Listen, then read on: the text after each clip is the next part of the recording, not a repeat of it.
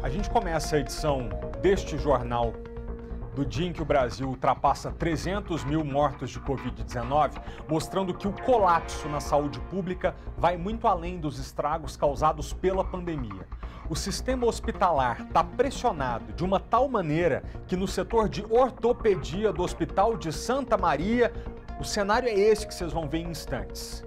O relato é do paciente Jonatas Nascimento, de 30 anos de idade. Ele está há 20 dias internado, esperando uma cirurgia no braço. Faria essa cirurgia hoje pela manhã e por isso ficou em jejum desde ontem à noite até 5 da tarde de hoje, esperando que o levassem para o centro cirúrgico.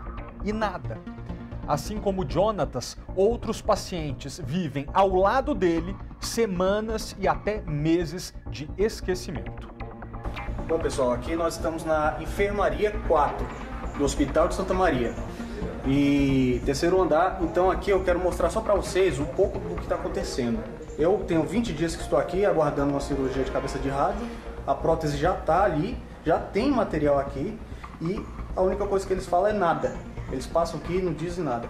Então vou passar aqui mostrar aqui algumas pessoas, isso aqui é só a 4, só a 4 que está acontecendo. Algumas pessoas só da, da, do quarto que eu estou. Tem o nosso amigo aqui, ó, que ele está com esse negócio de ferro aqui há duas semanas. Furaram o osso dele. Pois é, ó, pêndulo aqui. Cinco, duas semanas já. Não pode se mover, não pode levantar, não pode fazer nada. E hoje passou o especialista e simplesmente falou que ele não precisava ter feito isso. Não precisava ter furado o osso dele. Não precisava ter feito o que fizeram. Ele ainda foi jogado lá para a ala do Covid, porque estava com suspeita de Covid. Quando saiu o resultado, deu negativo. Mas ele estava lá na ala do Covid, sem ter Covid. Quantos dias o senhor tem aqui já, seu Tânia? 19 dias. 19 dias. Olha o estado. Olha a negligência. E ele não tem nem. não sabe nem quando que vai fazer a cirurgia. O nosso amigo aqui, ó. Não vou filmar o rosto dele, não. Nosso amigo aqui, ó, 37 dias. 37 dias. Ele quebrou o ombro em cinco lugares diferentes. Ele ficou mais de um mês sem dormir. Mais de um mês sem dormir direito. 37 dias. O nosso outro amigo aqui teve um, uma fratura aqui, fez uma cirurgia, porém esses ferros já tinha que ter saído daqui. O próprio especialista veio aqui já falou por que, que não tiraram esse ferro aqui, mas simplesmente estão jogado. Tá jogado. Enquanto não der uma infecção aqui e precisar fazer uma, uma outra cirurgia para remover, não vão fazer. Tem o nosso outro amigo aqui, que eu também não vou mostrar o rosto. Nosso amigo aqui, ó, tá 30 dias. 30 dias também. Não sei se dá pra ver ali o nome dele. 30 dias aqui aguardando cirurgia, ó. Ele quebrou aqui o ligamento. Teve o ligamento aqui. 30 dias. 30 dias. E falaram o que pra você? Falaram o quê? Que não tem nem previsão não tem nem previsão. Esse nosso amigo aqui, ó, que tá 37 dias aqui, ó, com o ombro quebrado. Deu sorte. Ele desceu, ele desceu pro centro cirúrgico cinco vezes. E cinco vezes mandaram ele subir de novo, porque falaram que não ia fazer, não iam fazer a cirurgia dele.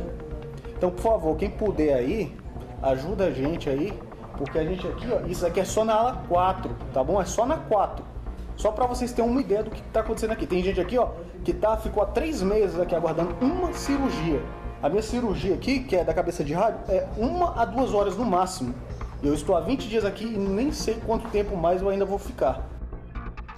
Você reparou que a gente colocou na íntegra o vídeo que o Jonatas mandou pra gente, porque sinceramente foi um esforço de reportagem. Ele contou a situação que ele está passando, mas mostrou que ele não é o único que está sofrendo com o abandono das cirurgias ortopédicas.